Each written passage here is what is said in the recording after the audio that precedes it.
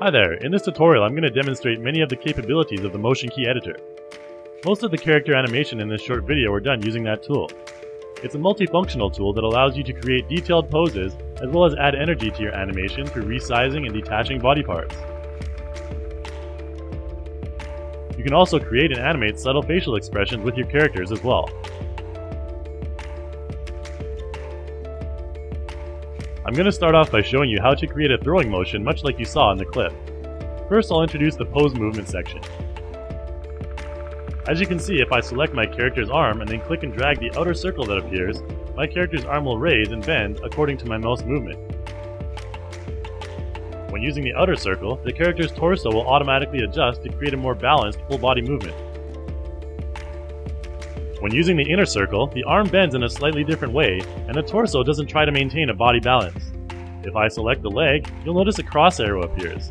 With this, you can adjust the position of your leg anywhere, then proceed to use the circle control to bend and adjust it. If you've made a pose that you don't like and wish to go back, you can select Default Pose, and your character will return to the default position. You can also select the mirror option, if you have this selected, both limbs will move in the same direction at the same time. You can select the reverse option and your limbs will start moving in the opposite direction. I've given my character some bunny ears to demonstrate how it works on the ears as well. You can see again that the inner and outer circle controllers show different results. I'll show another example of pose movement with the head. As you can see, when I use the outer circle controller, the torso will adjust accordingly to balance out the movement. If I use the inner circle, the head will tilt without much counterbalancing action from the body. If I combine both of these circles, I can bring my character's arm back like he is about to throw a ball. You can play with the combinations yourself to create unique motions. The next step is to animate. To do that, I'll move a little ahead on the timeline, and then use the outer and inner circle controllers in combination to bring my character's hand back to a more natural looking free-throw pose. I'll bring the timeline forward again slightly and repeat the same process in reverse in order to bring my character's arm back into a post-throw pose. If I play back, you can see my character winding up and then throwing.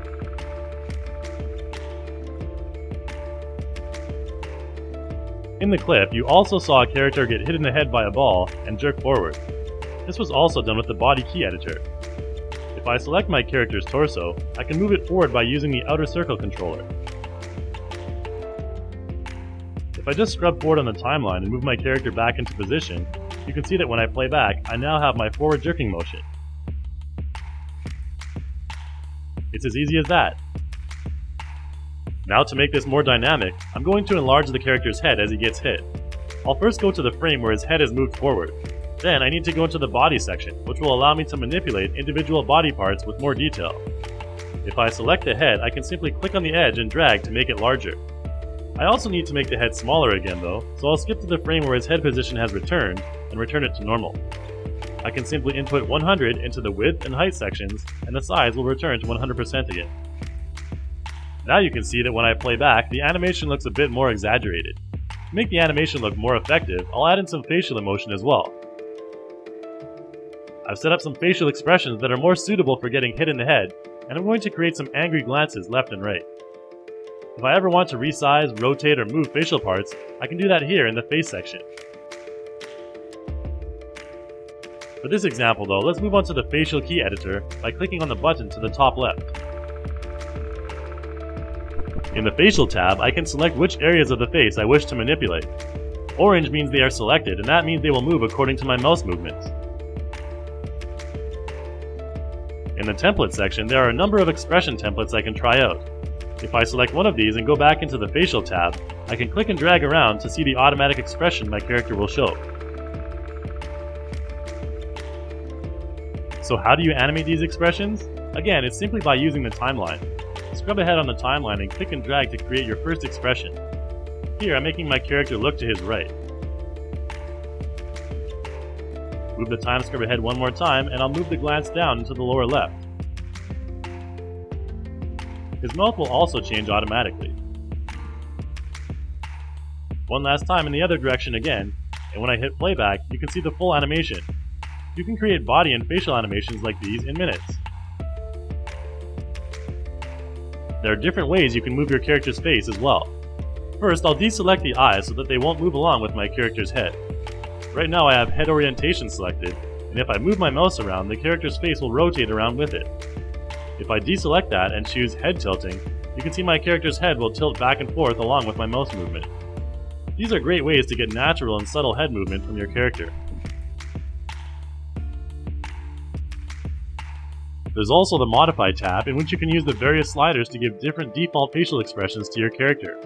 The expression defined here will be the default base expression for your character, just like the template defined in the previous tab.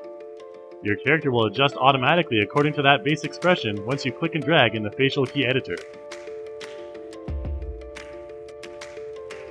To save your base facial expression, go to the Custom tab and simply select the Add button on the bottom right name your expression, and then you can use it at any time in the future. This works for both photo and sprite-based characters. As you can see, now when I go back to the facial key editor, my character's base expression will be the one that I saved, and all the other expressions will be based on that one. One thing that's really cool about posing using the motion key editor is you can save your poses and reload them on any character at any time. To do that, simply select Save Pose and save your pose to any folder. I've chosen my motion folder, which I'll show you later. Once I've finished, I'll set my character to default pose again, and then go into the custom tab of my motion section and double click on the pose to reload it onto my character. The next thing I'll show you is how to use the body section to detach body parts. I'll use Cyborg Girl here as an example. If you ever want to maintain a pose for a period of time in an animation, you can use the absolute key function beside the default pose button. If I go ahead in the timeline and press the absolute key button, it will place a keyframe for every single body part in that frame, as you can see when I open up the individual body part tracks. I want to maintain this pose for about 10 frames, and then have my character shoot her mechanical arm. So a few frames after my absolute keyframe, I'll go and adjust her torso backwards and up a bit from the recoil of the shot. Now when I play back, you can see the original pose will be maintained until the 10th frame. Now, to detach the actual arm. To do this, I'll simply go into the body section, select the frame after my shooting pose, and move the arm ahead about half the screen. As you can see, the robot arm is still rooted to the upper arm, and it follows its movement, so you'll have to adjust this as the animation proceeds. I'll add in another position off screen, which will create another keyframe. Now when I play back, you can see the arm zoom away. If I want to slow down the animation, I can move the keyframes further apart. You can adjust the position and speed of the robot arm by refining the keyframes and adjusting the position in the body key editor to achieve the desired result. As you can see, the Motion Key Editor is a multifunctional tool that's useful for a variety of different types of animations. Try it out today.